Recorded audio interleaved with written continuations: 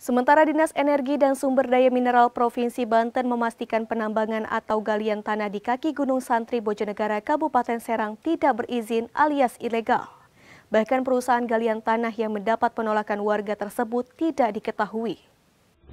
Penambangan tanah di kaki Gunung Santri, Desa Bojonegara, Kecamatan Bojonegara, Kabupaten Serang, Banten yang meresahkan warga setempat dipastikan tidak memiliki izin alias ilegal.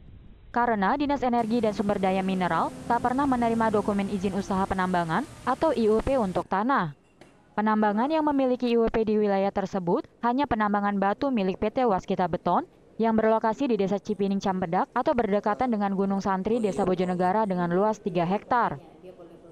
Inspektur Penambangan SDM Banten, Hari Nurdian Sahman menegaskan, pihaknya segera turun tangan ke lapangan dan berkoordinasi dengan polisi Pamong Praja, bahkan kepolisian untuk menertibkannya. Ini penambangan tanah ini ada izin atau tidak?